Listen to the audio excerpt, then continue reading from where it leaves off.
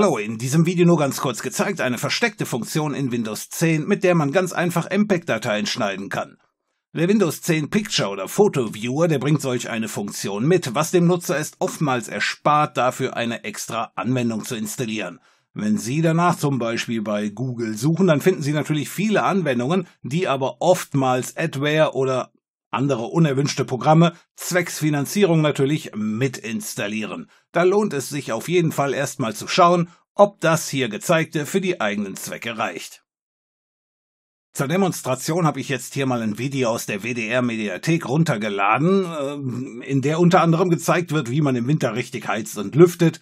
Äh, das ganze Video ist 30 Minuten lang, ich brauche aber nur diesen einzelnen Teil. Insoweit ganz einfach unter Windows 10 die Datei angewählt mit der rechten Maustaste und dann haben wir hier im Kontextmenü Öffnen mit. Und natürlich nehmen wir nicht Filme und DV, das wird ja Sinn ergeben, nein, wir nehmen die Fotoanwendung. Also draufgeklickt, einen Moment gewartet, bis das Video geladen ist, wird mir das Ganze hier angezeigt und ich kann hier auf Kreativoptionen für dieses Video klicken oder halt editieren. Und haben wir unter anderem mehrere Optionen. Die erste zuschneiden, das ist genau das, was ich brauche. Also angeklickt.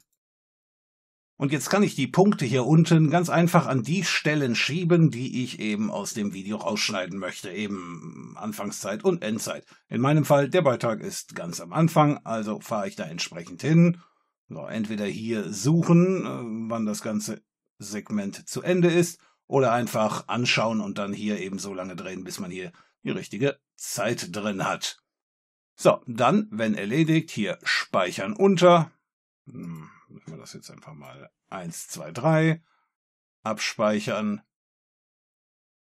Moment warten. Schon erscheint die Datei hier, wird auch mit Thumbnail angezeigt, insoweit das Ganze wird auch richtig erkannt. Und wenn man sich dann zum Beispiel über die Eigenschaften die Details anschaut, dann sieht man dann hier Länge nur noch äh, 3 Minuten 39. Das entspricht dem, was wir da gerade rausgeschnitten haben. Ist also ganz einfach. Okay.